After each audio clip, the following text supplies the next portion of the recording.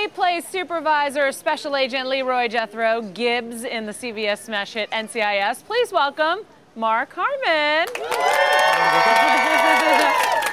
Hello. Hey, how are you? How are you? Good to nice see to you. see you. What's happening? Not a much. You get out. This I is get nice, out. I get right? out. We, we've wrapped for the year, so I got a few days here. Yeah. What do you do on your off time? None of your business. Good answer. Good answer. Hopefully you get some rest. yeah, I think so. You know, we- we've got like seven weeks off, so uh, we're excited to have a little time. We got some press to do for a few days, and then then we'll get some vacation time. It goes by quickly, though. Yeah, I doesn't bet. it, you guys work really, really hard. Congratulations Thanks. on being picked up for an 11th season. Mm-hmm. That's, I mean, that's an incredible, incredible feat. What do you What do you think? Does it get easier or does it get more challenging?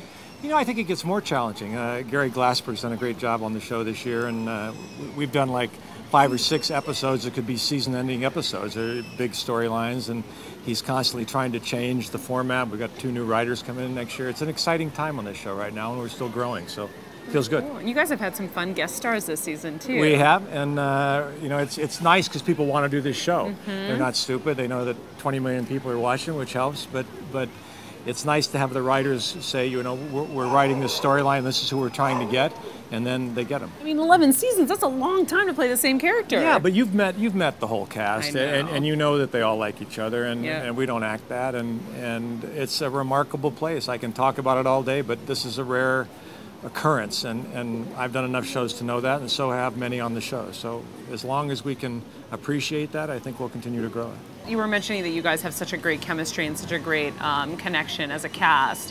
When you think of each one of them, maybe we can start with uh, Weatherly. Yeah, yeah, that's that's that's just the luck of the draw. Just grab him right You there. know, yeah. let's go to Weatherly. Um, what do you think when you hear Michael Weatherly?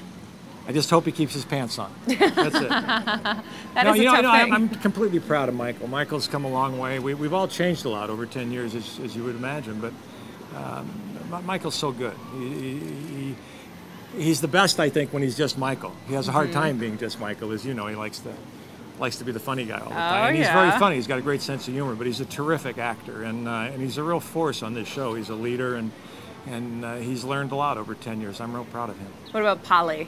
There's no one like Pauley. Yeah. I mean, Pauley was cast on this show before I was, and and uh, there's only one Pauley Perrette, and she plays the heck out of this character, and we're glad to have her too.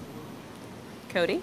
We got better when Cote got there. we did. Yeah? I mean, yeah, I think we did. I think it's not taking away anything from anybody who was there before, but but I think Cote did, came with such a, a, spirit. She loves being there. She's Yeah. a team player. She's uh, she comes hard to do the work, um, loves the work.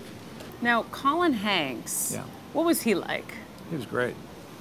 He was great. I mean, he's uh, uh, again. I mean, Gary Gary wrote this part, and and from the very beginning wanted Colin Hanks, and then and then he was in New York. Uh, his dad opened a play there, so he was there, and and it took a little while to get it lined up, and he read the script, and then liked it, and then the deal came down. Then he came and just played the heck out of this character, you know, and, and he's the right kind of guy.